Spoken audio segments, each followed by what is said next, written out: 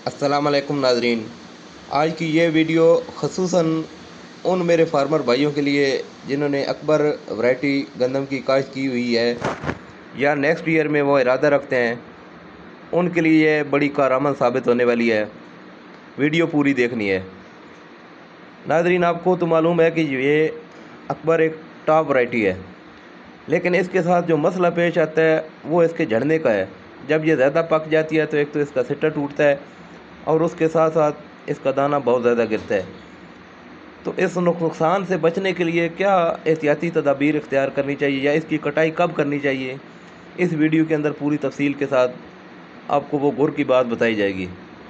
Video अच्छी लगे तो लाइक करना है और चैनल को सब्सक्राइब ज़रूर ये एहतियाती तदाबीर इख्तियार जो करनी चाहिए, ये जो इसकी जॉइंटिंग स्टेज है, ये वाली, यहाँ पे।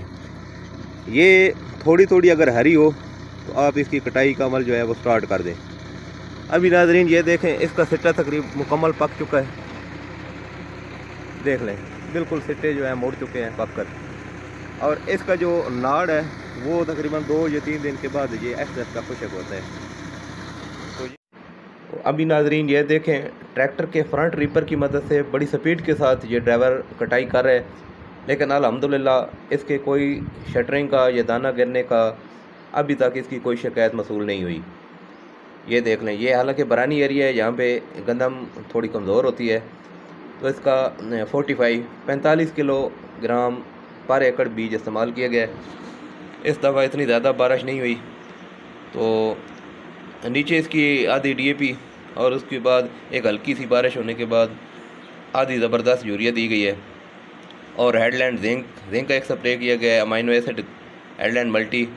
और पोटाश का एक स्प्रे किया गया है, सपीडो फुल के, ऐसा बात है ग्रो की।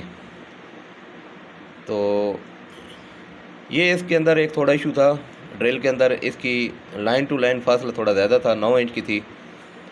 तो मैं रिकमेंडेड करूँगा जिन लोगों ने भी ड्रिल रखी है, ख़ास करके वो छः इंच पे ले आएँ। इससे पैदावार में इजाफा होता है। बाकी ये इस साइड से कटाई मुकम्मल हो गई है। अभी ये पीछे लोग बरियाँ बांधने में मसरूफ़ हैं। तो यकीनन ये पंजाब के अंदर इस दिन का बड़ी शिद्दत के साथ इंतज़ार किया जाता है।